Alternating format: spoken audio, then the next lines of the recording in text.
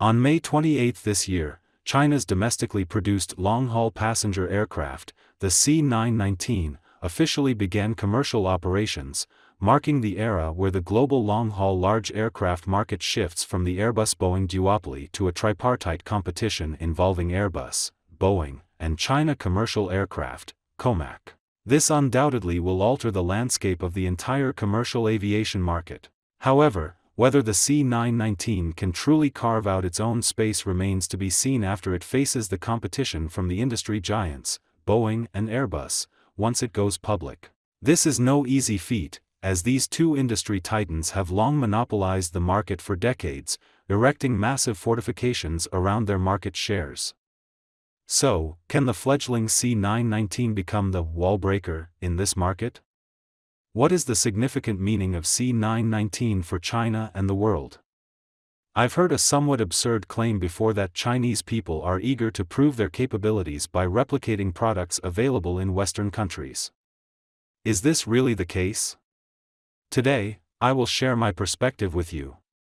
Let's begin. First, let's understand the basic landscape of the civil aviation market.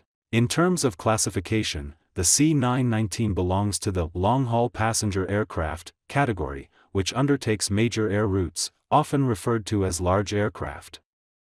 In contrast, short-haul passenger aircraft primarily operate on routes with smaller passenger flows and more remote regions. In China, in this category, we mainly have the Xinzhou series and ARJ-21. However, short-haul passenger aircraft are not the mainstream in the market. The main battlefield of the civil aviation market is still in the long-haul passenger aircraft category. On average, over a thousand units of long-haul passenger aircraft are sold each year in the past decade, and the future demand is expected to further increase. According to the China Civil Aircraft Market Forecast Annual Report released by Aviation Industry Corporation of China, AVIC, in 2019, the global demand for long-haul passenger aircraft from 2019 to 2038 will reach 39,300 units, with China alone exceeding 8,000 units in demand. Within the long-haul passenger aircraft category, there are two levels, the larger, twin-aisle wide-body passenger aircraft and the smaller, single-aisle narrow-body passenger aircraft.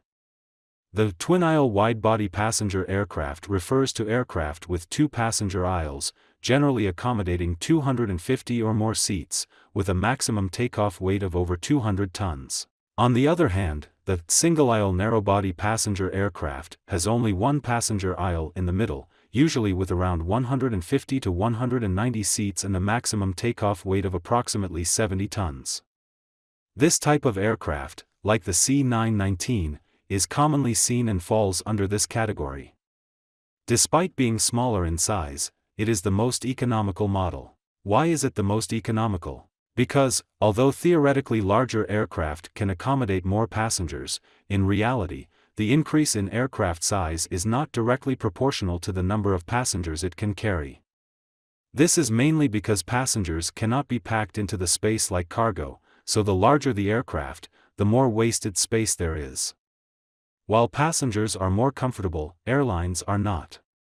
The weight of a wide-body aircraft is three times that of a narrow-body aircraft, its price is more than double, but the number of passengers it can carry is only about 1.5 times more. Therefore, this level is only used for long-haul routes or routes with particularly large passenger flows. So, does that mean smaller-sized aircraft make more money? Not necessarily. While the primary function of an aircraft is to transport passengers, it also has an important side job, cargo transportation. The space beneath passenger seats is the cargo hold. Because of the existence of this side job, cargo transportation, it's ideal for the aircraft's cargo hold to accommodate standard air cargo containers. If this isn't achieved, the profitability of this side job is significantly reduced. Additionally, regardless of the aircraft size or level, it needs at least one captain and one first officer, along with basic flight attendants. These salary expenses are fixed. Moreover, regardless of the aircraft size, the takeoff and landing processes require the same amount of time on the runway, and parking also necessitates the use of the same boarding gates. The rental costs for these spaces do not become cheaper because the aircraft is smaller. Hence, being too small can also lead to losses. In conclusion, airlines have found after years of operation that an aircraft with a seating capacity of 150 to 190 seats, a diameter of 3.7 to 3.9 meters, two engines, and a takeoff weight of around 70 tons, a single-aisle narrow-body passenger aircraft, is the optimal economic solution. Therefore, aircraft of this level dominate the civil aviation market, accounting for 80% of the global annual aircraft sales. However, this large cake has been dominated by just two products for nearly decades, the Boeing 737 from the United States and the Airbus A320 from the French company Airbus. The Boeing 737 is the world's most famous single-aisle narrow-body passenger aircraft, and by 2018, it had already accumulated a production count exceeding 10,000 units, making it the largest production long-haul aircraft in history. The Airbus A320 also exceeded 10,000 units in 2020. Facing such a classic product, are Boeing's designers proud? In fact, they were more surprised. The impressive success of the Boeing 737 was not due to its exceptionally superior design but rather because its size fell precisely within the range of the optimal economic solution.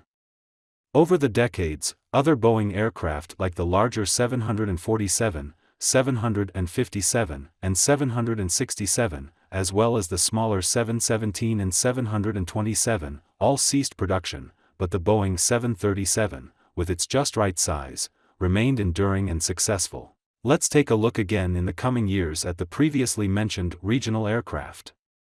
Although small turboprop aircraft are somewhat non-mainstream, they have indeed addressed practical issues in many remote areas. These aircraft have also garnered broad public support and a good reputation in these countries and regions for Chinese aircraft. These regions represent potential markets for China's future large aircraft.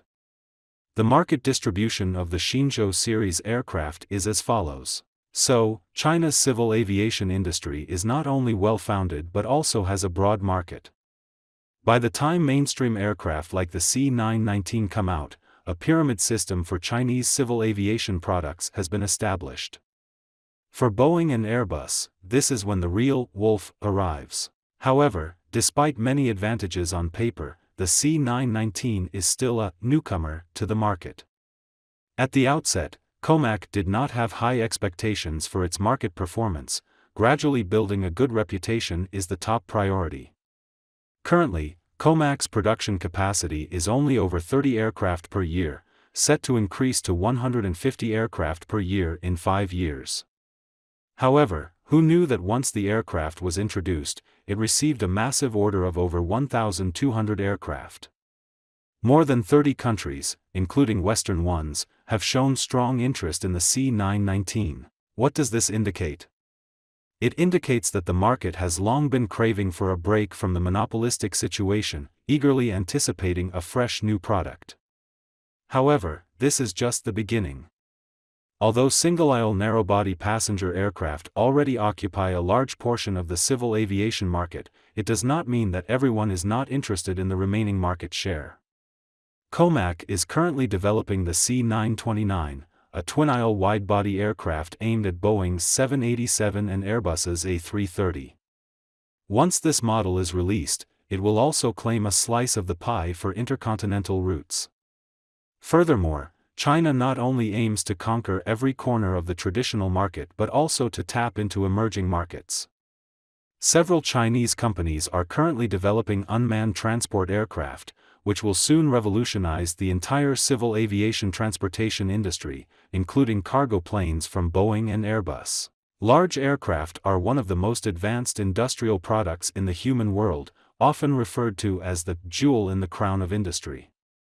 Creating a narrow-body long-haul aircraft like the C919 signifies that China's path to industrial upgrading in this field has reached a peak, and the next step is to reach the summit. However, there is a fundamental question here, why do we have to expend vast resources, bear enormous risks, and face pressure from global dominators to undertake such industrial upgrades?